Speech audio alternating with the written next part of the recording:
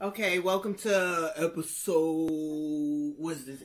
What's episode is this? I don't know. You the fucking you the fucking director. Goddamn podcast. Okay, okay, okay, okay, okay. Okay, well, well, well. Don't try to get me on the fucking podcast if you ain't gonna know how to podcast. I'm Ro. podcast or what? And you are.